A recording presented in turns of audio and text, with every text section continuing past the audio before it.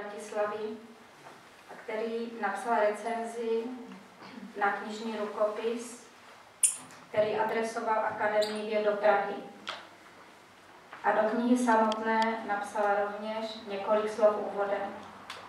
Oním hostem je univerzitní profesor pan Josef Lajker, PhD, člen Slovenské akademie věd a předseda Slovenského klubu autorů literatury faktu.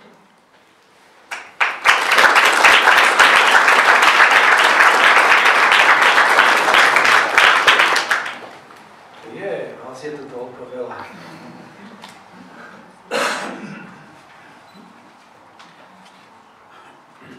Vážený pán starosta mesta Uherský Brod, Ferdinand Kubaník, vážený pán zástupca starostu mesta Uherský Brod, Petr Vána, vážený pán riaditeľ gymnázia v Uherskom hradišti Zdenek Botek, vážený pán riaditeľ Strednej školy Centra odbornej prípravy technickej v Uherskom Brode a bývalý starosta Uherského Brodu, pán Vladislav Krištof.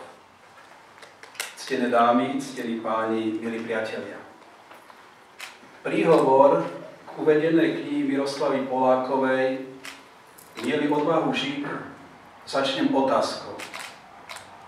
Pamätáte si, čo sa stalo v roku 1985? Predpokladám, že nie. Veď to bolo pred vyše 30 rokmi. Pre oživenie pamäte spomeniem niekoľko historických momentov. V Prahe sa konali majstrovstvá sveta v hokeji a naši hokejisti získali zlato. V Severnom Atlantiku našli trosky potopenej lode Titanic.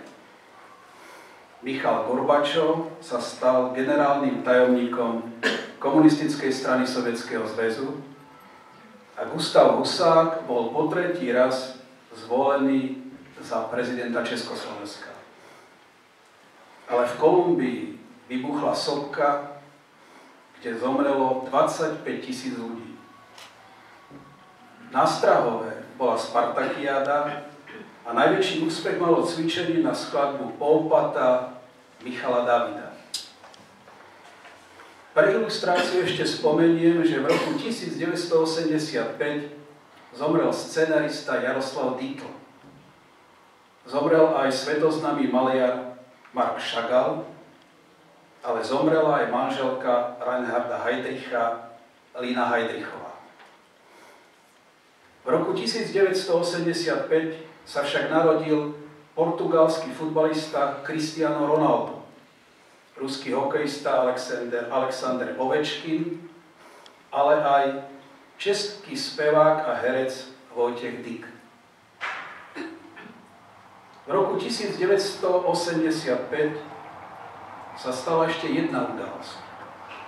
Miroslava Poláková začala písať knihu Miely odvahu kvôli ktorej sme sa dnes stretli. Tvorila ju 33 rokov.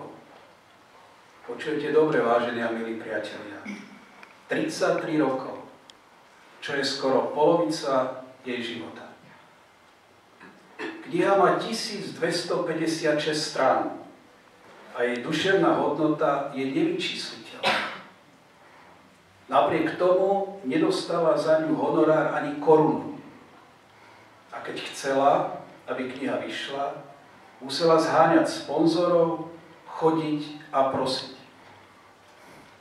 Spomínam to len preto, aby sme si uvedomili, čo všetko predchádzalo vydaniu tejto knihy. Našťastie doktorka Poláková nikdy nehľadela na peniaze, čas ani námahu. Materiálne nie je bohatá. Jej bohatstvo sú vedomosti, múdrosť a mimoriadná pracovitosť ktoré sú zhmotnené aj v spomínanej knihe. A tá je, veru, v mnohom unikátna. Posúďte sami, milí priatelia.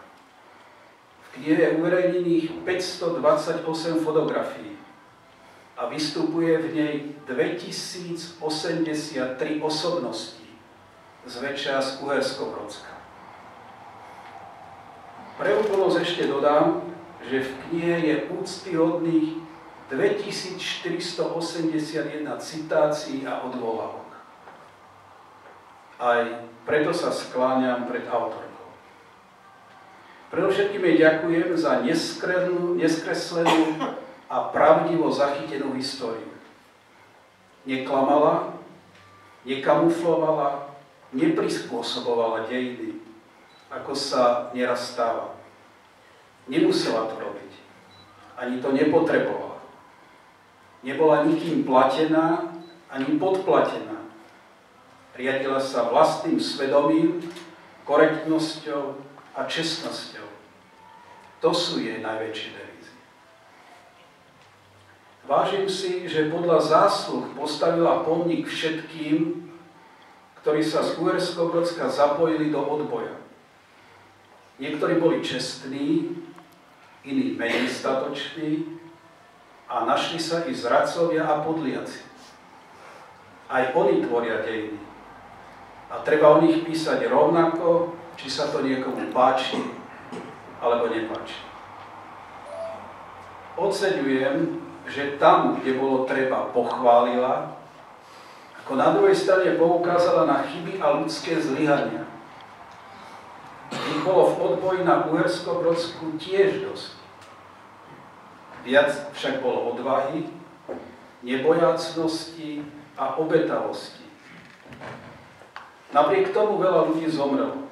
Nezmyselne, kruto a zbytočne. Za nich a za potomkov, z ktorých niektorých sú tu prítomní, Miroslave Polákovej ďakujem.